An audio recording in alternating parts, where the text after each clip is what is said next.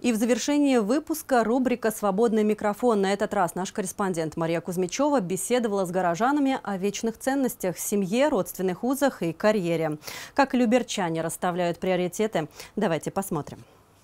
Как сказал один классик, любовь к родине начинается с семьи. С этим высказыванием сложно не согласиться.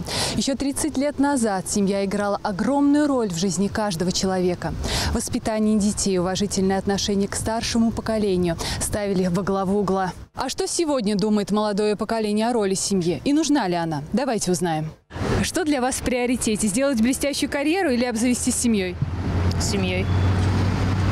Ну, семья это, это важно. Семья это для души.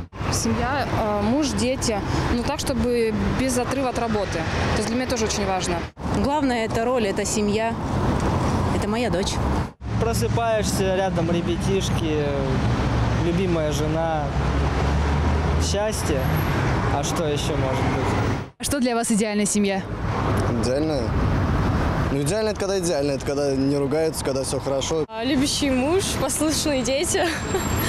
Все. Это, ну опять же, когда взаимоотношения, доверие. Ну и, конечно, дети. В чем секрет долгой и счастливой семейной жизни? В любви и в честности, в доверии. В первую очередь это доверие друг к другу, понимание, поддержка, забота, ну и любовь, конечно же. Искренность и понимание, взаимопонимание.